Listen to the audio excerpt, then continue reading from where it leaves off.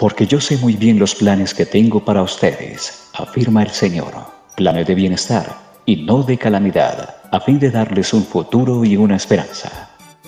La Iglesia de Dios Pentecostal Movimiento Internacional en Colombia presenta Un Pensamiento con Dios. Dirige Pastor Wilmer Rubio. El libro de Apocalipsis capítulo 2 versículo 4 y 5 nos habla, sin embargo tengo en tu contra que has abandonado tu primer amor. Recuerda de dónde has caído, arrepiéntete y vuelve a practicar las obras que hacías al principio. Si no te arrepientes, iré y quitaré de tu lugar tu candelero.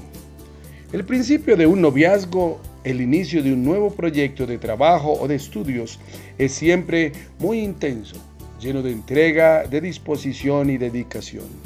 Tal como sucede con las otras relaciones o con las actividades que comenzamos, los primeros momentos con Dios también parecen ser mucho más apasionados. Infelizmente, con el pasar del tiempo, muchos abandonamos el primer amor.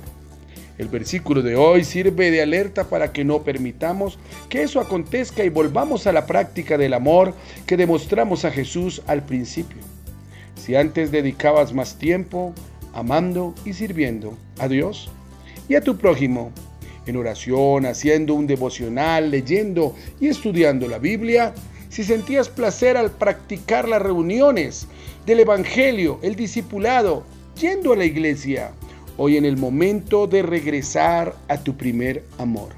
Vuelve a amar como al principio. Recuerda que de, de dónde has caído. Haz un análisis personal, reflexiona sobre tu vida y recuerda cómo abandonaste el primer amor.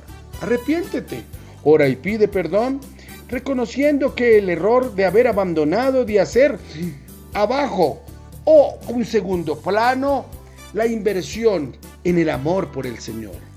Practica las obras que practicabas al principio Vuelve a la práctica de las primeras obras con amor y con dedicación y entrega total a Dios. Oremos. Padre querido, reconozco que abandoné mi primer amor por ti. Perdóname porque permití que nuestra comunión pasara a un segundo plano y me apartara de ti.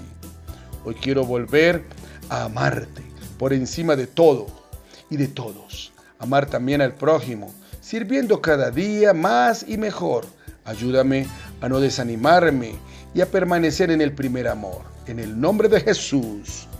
Amén, amén y amén.